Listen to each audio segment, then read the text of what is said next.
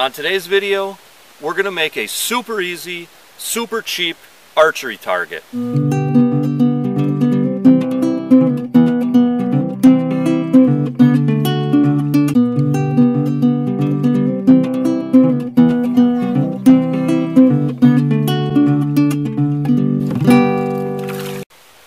Hey there outdoor YouTubers, it's Dave Knetter from Knetter's Practical Outdoors.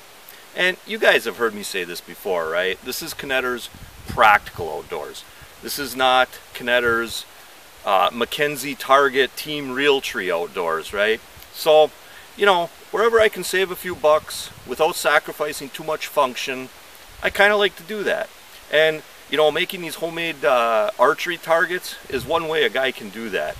And all we're talking about here is uh, saving up some old towels, blankets, rags, uh, shirts, pants, that sort of thing. That's one thing we need. The other thing we need is an empty corn sack, all right? A little bit of electrical tape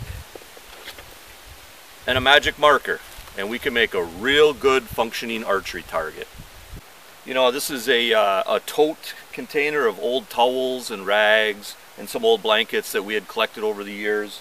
But uh, you know, if you haven't been collecting that stuff, a lot of times you can go to a thrift store and they'll take some of the, you know, not so desirable clothes and cut them up and, and sell boxes of rags. That works good too. But I think most of you guys can see where we're headed with this, right? What we're gonna do is just start stuffing this stuff into this corn sack, all right?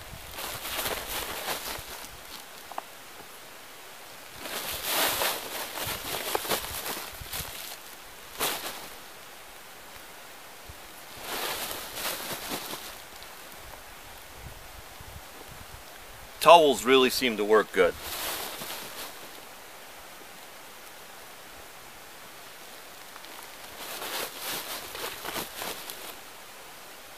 Old duck towel.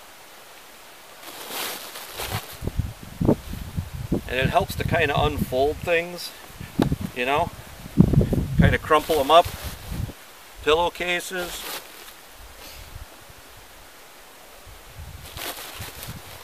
Okay, We've got our bags stuffed pretty good, okay? And I think you guys can imagine the real trick here is getting this stuff compressed real well, okay? So you want to shove it down in there pretty tight. But then what really does it for you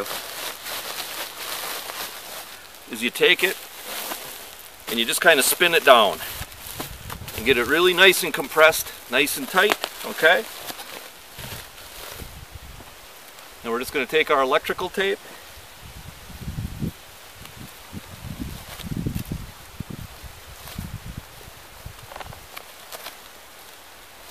and we're going to tape that down. Okay? So that's keeping things good and compressed right now. Alright? And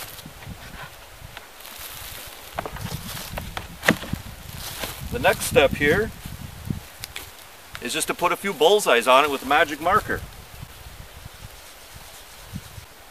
It's a good idea to put them in a few other spots, right? You know, so you're not hitting your arrows if you're uh, aiming at the same spot.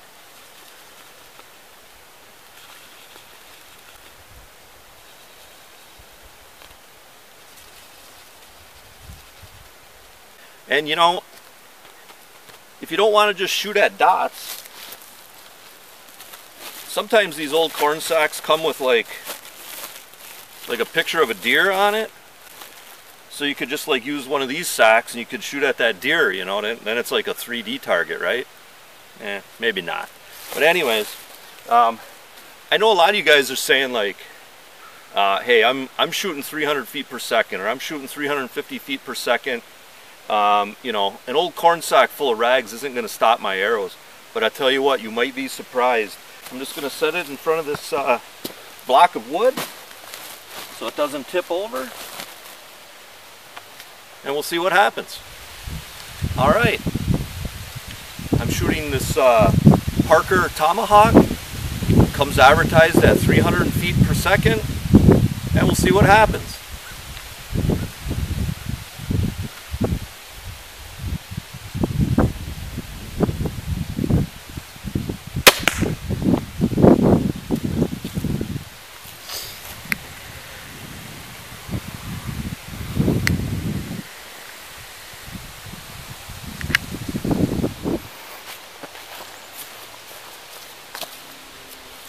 All right, guys.